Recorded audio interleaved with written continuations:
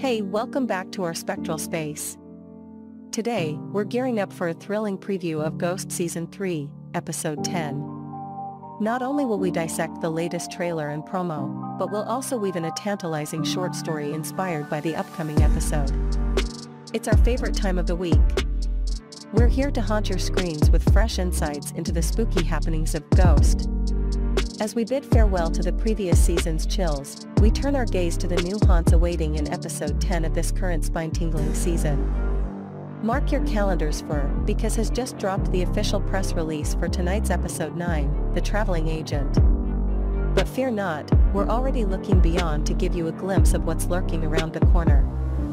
We'll dive into the preview season 4 and uncover the secrets behind episode 9. We'll fast forward to tonight's episode 10, where new specters and stories await. Expect some shocking twists and ghostly encounters that will leave you on the edge of your seat. Thank you for joining us on this paranormal journey.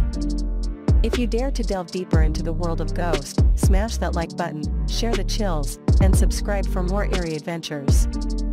Until next time, keep watching. Bye.